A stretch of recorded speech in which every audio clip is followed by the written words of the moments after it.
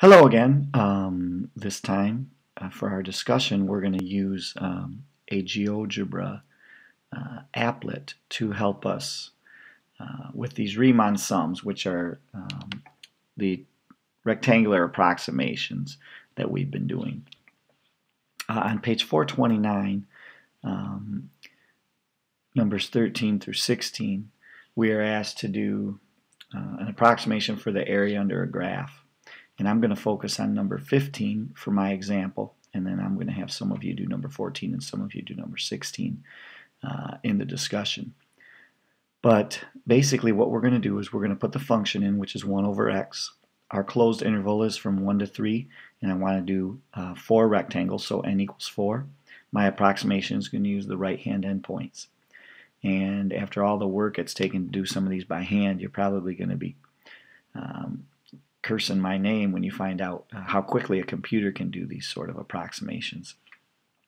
So if you've clicked the link, uh, you should see this page with these values already filled in. This is the Riemann sums um, GeoGebra applet. This one happens to be in HTML5 made for the iPad also, but it'll work on your computer fine. So the deal is we're going to put our function in. For me, on number 15, that is 1 over x as you tab through this, the graph will change. See, this is the graph now of 1 over x. For problem 15, we're going to be going from left, uh, the left endpoint at 1 to the right endpoint at 3. And we want to do four rectangles.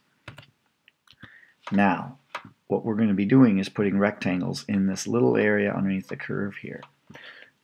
Since we're going to use the right-hand endpoint, and we're going to click show right and notice it'll draw the rectangles in which all happen to be under the curve so this approximation is going to be a little short but we do get the value of 0.95 which is also the value I came up with when I did it by hand in the uh, solutions to the practice exercises. That's how quickly uh, this computer can handle this because it's been programmed to do it. Now if you want to know what the actual final uh, exact result is for this graph, you can click on GeoGebra integration and the computer is going to do something that we haven't learned how to do yet, but we'll learn in uh, lesson 6.4. And it's going to be able to calculate the exact area under the curve. This gray region's all filled in. And it comes out to be a little higher than 1, 1.09861 uh, is a rounded off answer.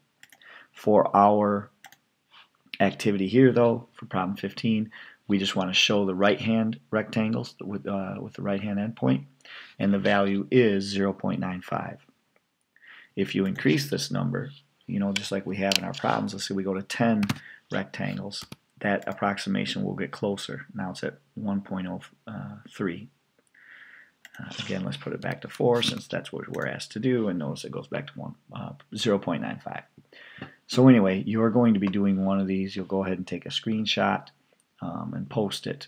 But this is another tool that's available to sort of help you visualize um, what's going on and then also quickly get the value.